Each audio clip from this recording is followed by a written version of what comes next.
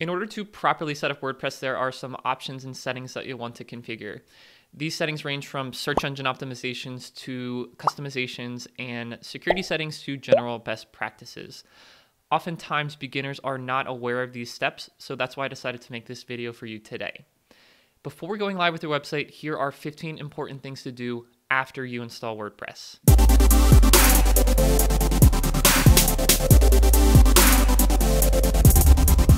Right, let's get right into it. Number one here, change the site title and tagline.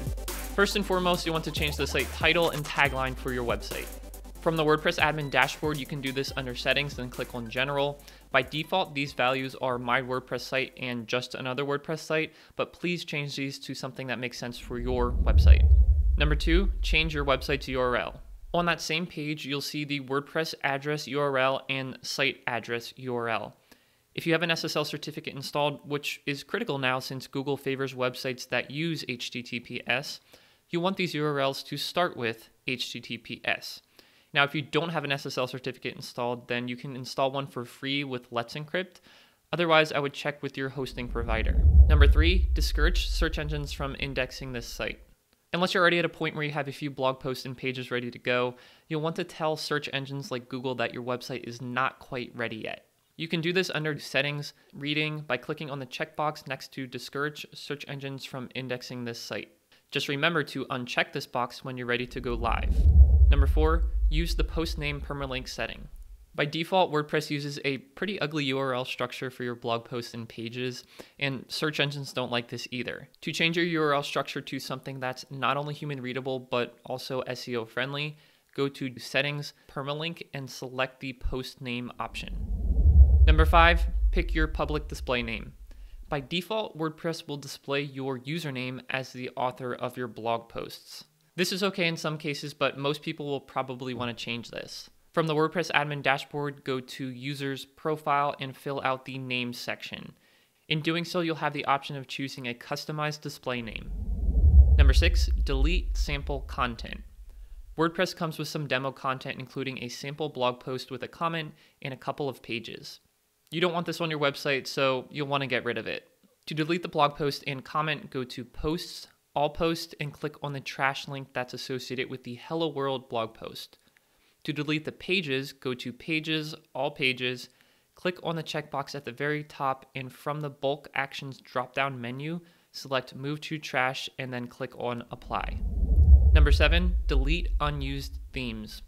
WordPress also comes pre installed with a handful of themes. You can only use one theme at a time, so let's get rid of the other ones that are just taking up space. Go to Appearance, Themes, and for every theme that you're not using, click on Theme Details and then Delete.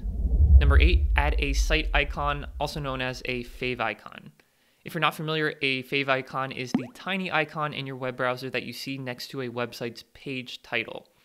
To add a favicon for your WordPress website, go to Appearance, Customize. Expand Identity and upload your image. As it says, a site icon should be square and at least 512 by 512 pixels. If you don't have a favicon, then you can create one for free online with Canva. Number nine, choose a theme for your website. A fresh install of WordPress comes with the latest default theme, which is usually the current year spelled out. If you're looking for a customizable theme that's notorious for its speed, then I recommend GeneratePress, which I use for just about all of my websites. Otherwise, a great free WordPress theme is the Hello theme by Elementor. Moving right along to number 10, uninstall the default plugins. WordPress comes pre-installed with just two plugins, Akismet Anti-Spam and Hello Dolly. If you have more than two plugins installed and this is your first time accessing your WordPress website, then your hosting provider has installed additional plugins for you. While Hello Dolly is completely useless and everyone should remove it, Akismet is worth checking out, although I personally prefer to prevent spam with reCAPTCHA, which brings us to number 11 prevent spam with reCAPTCHA. The first of just a few plugins that I'm going to recommend that you install is a reCAPTCHA plugin for WordPress. This free plugin will stop bots from making spam comments on your blog posts. I have a full video on this topic, but real quick, to add this plugin, simply go to Plugins, Add New, type in reCAPTCHA by Best Web Soft, click Install Now, and then activate. Number 12, add a blacklist. What about humans though? They are 100% capable of spamming your website even with a reCAPTCHA plugin installed. So for that, you can implement a WordPress blacklist, which is essentially a list of bad words that you don't want to appear in the comments section of your website. Again, I have a full video on how to do this, but just so you know, a blacklist can be configured by going to settings, discussion, and adding your keywords in the disallowed comment keys box. Number 13, install a search engine optimization plugin. Another plugin that pretty much every WordPress website needs is an SEO plugin. Now, if you're not familiar, SEO is an acronym that stands for Search Engine Optimization, and that's really just a fancy way to describe the process of helping search engines like Google include your website in search results. I personally use the free version of the Yoast SEO plugin on my websites. Similar to before, simply go to Plugins, add New, search for the Yoast SEO plugin, and then click on Install Now and activate to add this plugin.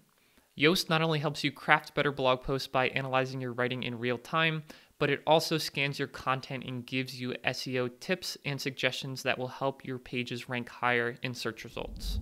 Number 14, install Google Analytics. As your website grows in popularity, it's important to understand where your visitors are coming from, what pages they visit, and how long they stay on your website. Google Analytics is built specifically for this, and you can integrate it into your website with the official Google Analytics plugin called SiteKit. Again, simply go to Plugins, Add New, search for SiteKit, and then click on Install Now and activate to add this plugin. After linking your Google account, you will have more than enough data to understand the analytics of your website. Number 15, optimize WordPress. Plugins are great because they add functionality to your website, but too often website owners will overdo it and install way too many plugins. I recommend having no more than 10 plugins installed at a time on your website. With that said, there are three performance enhancing plugins that every WordPress website should have.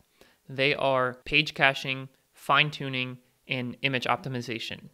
Rather than go into it here, check out this playlist for a detailed walkthrough of these critical plugins, and check out some of my other videos to help you get started with WordPress.